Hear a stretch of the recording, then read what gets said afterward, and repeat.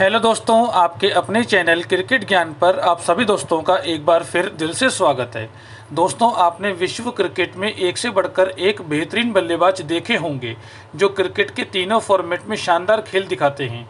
लेकिन दोस्तों, विश्व क्रिकेट में कुछ बल्लेबाज ऐसे भी हैं, जो टेस्ट और वनडे में तो नंबर एक की पोजीशन हासिल कर पाए हैं, लेकिन अंतर्राष्ट्रीय टी ट्वेंटी क्रिकेट में कभी भी नंबर एक नहीं बन पाए।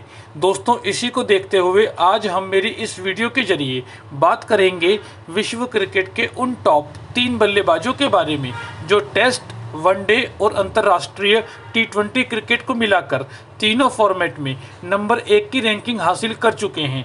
दोस्तों, इन तीन बल्लेबाजों के अलावा कोई चौथा बल्लेबाज ऐसा नहीं है जिसने आईसीसी के तीनों फॉर्मेट में नंबर एक की रैंकिंग हासिल की हो। आइए दोस्तों जानते हैं कि कौन से हैं यह टॉप तीन बल्लेबाज।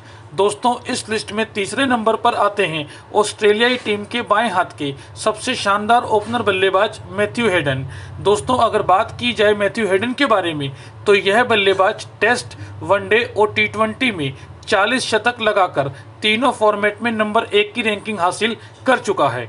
दोस्तों, इस लिस्ट में दूसरे नंबर पर आते हैं। ऑस्ट्रेलियाई टीम के सबसे सफल कप्तानों में से एक, दाएँ हाथ के सबसे शानदार बल्लेबाज, रिकी पॉन्टिंग।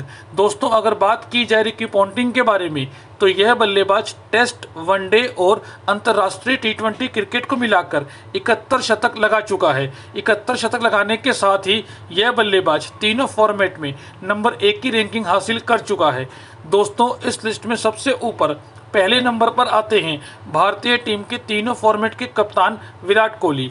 दोस्तों, अगर बात की जाए विराट कोहली के बारे में तो यह बल्लेबाज टेस्ट वनडे और अंतर्राष्ट्रीय टी क्रिकेट में 70 शतक लगाकर तीनों फॉर्मेट में नंबर एक की रैंकिंग हासिल कर चुका है। दोस्तों, आप हमें कमेंट करके बताएँ, क्या आने वाले समय में भारतीय टीम के हिटमैन रोहित शर्मा का नाम भी इस लिस्ट में शामिल हो सकता है? प्लीज़ दोस्तों कमेंट बॉक्स में हमें अपनी कीमती राय ज़रूर ordem.